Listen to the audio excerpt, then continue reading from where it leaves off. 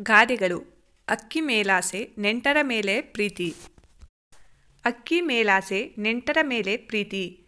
ಗಾದೆಗಳು ಅನುಭವದ ರಸಗಟ್ಟಿಗಳು. ಇವು ಜನಪದರ ವೇದವಾಕ್ಯಗಳು ಹೌದು. ಮೇಲಿನ ಗಾದೆ ಕೂಡ ಒಂದು ಮಾರ್ಮಿಕ ಮಾತು. ಮನುಷ್ಯನ ಇಬ್ಬಂದಿ ಮನಸ್ಸನ್ನು ಈ ಗಾದೆ ಧ್ವನಿಸುತ್ತದೆ. ಏಕಕಾಲಕ್ಕೆ ಅಕ್ಕಿಯೂ ಖರ್ಚಾಗಬಾರದು, ನೆಂಟರು ಮನೆಗೆ ಬರಬೇಕು ಎನ್ನುವುದು ಬೂಟಾಟಿಕೆ ಆಗುತ್ತದೆ. ಇವೆರಡರಲ್ಲಿ ಒಂದನ್ನು ಆಯ್ದುಕೊಂಡರೆ ಆಯ್ದುಕೊಂಡವರ ನಿಲುವು ಸ್ಪಷ್ಟವಾಗುತ್ತದೆ.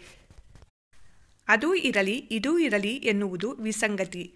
ಮೀನು ಬಯಸುವ, ಆದರೆ ನೀರಿಗೆ ಎದುರುವ ಬೆಕ್ಕು ಎನ್ನುವ ಅರ್ಥದ ಗಾದಿಯು ಇಂಗ್ಲಿಷ್ನಲ್ಲಿ ಚಾಲ್ತಿಯಲ್ಲಿದೆ. ಬೆಕ್ಕಿಗೆ ಮೀನು ಬೇಕಾದರೆ ಧೈರ್ಯವಾಗಿ ನೀರಿಗಿಳಿಯಬೇಕು. ಇಲ್ಲವೇ ಮೀನಿನ ಆಸೆ ಬಿಡಬೇಕು. ಹಾಗೆಯೇ ನೆಂಟರ ಆಗಮನವು ತನಗೆ ಆನಂದ ನೀಡುವುದೋ ಇಲ್ಲ ಅವರು ಬರದಿದ್ದಾಗ ಉಳಿಯುವ ಅವರ ಪಾಲಿನ ಅಕ್ಕಿಯೇ ಎಂಬುದನ್ನು ವ್ಯಕ್ತಿ ನಿಖರವಾಗಿ ಯೋಚಿಸಬೇಕಾಗುತ್ತದೆ. ನಿಲುವಿನಲ್ಲಿ ದೃಢತೆ ಇಲ್ಲದಿದ್ದಾಗ ಮನುಷ್ಯ ಎಡಬಿಡಂಗೆ ಆಗುತ್ತಾನೆ.